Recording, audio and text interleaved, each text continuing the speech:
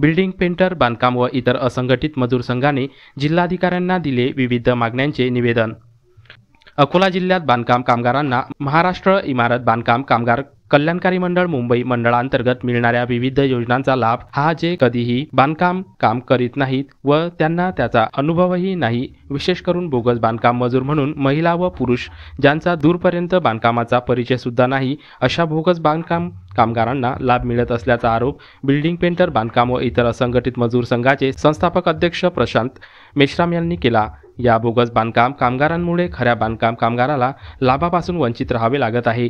त्यामुळे बोगस बांधकाम कामगारांची सखोल चौकशी करून शासनाची दिशाभूल करून बोगस बांधकाम प्रमाणपत्र देणाऱ्या संबंधित अधिकारी व दलालांवर कार्यवाही करण्यात यावी व खऱ्या बांधकाम मजुरांना न्याय द्यावा. तसेच मध्यान्ह भोजन योजना बंद करून त्याऐवजी लाभार्थ्यांना खात्यात पैसे देण्यात यावे.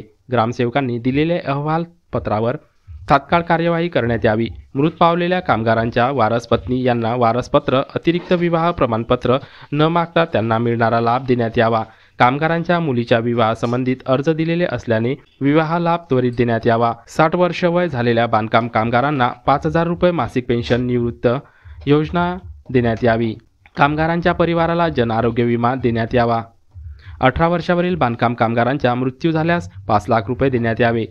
अशा मागण्यांचे निवेदन बिल्डिंग पेंटर बांधकाम व इतर असंघटित मजूर संघाने जिल्हाधिकाऱ्यांना निवेदन दिले. यावेळी प्रशांत मेश्राम अब्दुल बशीर विनोद जपसरे मनोज बाविस्कर आत्माराम साठे अब्दुल जमीर गणेश सावळे सचिन खराटे झिंगाजी पुंडगे हरिभाऊ अघडते संतोष भालेराव विठ्ठल भदे अजित भदे राजेंद्र मेसरे महादेव शेगोकार नागेश निमाडे संदेश कुडवे व इतर पदाधिकारी हजर होते. बोला. आज माननीय जिल्हाधिकारी यांना संघटनेच्या वतीने निवेदन देण्यात आलेले आहे.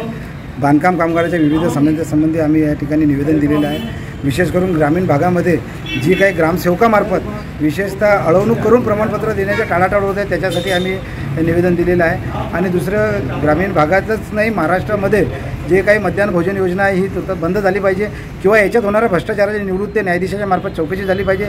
नाही तर बांधकाम कामगाराच्या सरळ खात्यामध्ये याचे पैसे द्यावे जेणेकरून शासनाचे उद्दिष्ट पूर्ण होईल आणि जे वंचित घटक आहेत कामगार यांना त्याचा लाभसुद्धा होईल. या विविध मागण्याचं निवेदन या ठिकाणी दिलेलं आहे.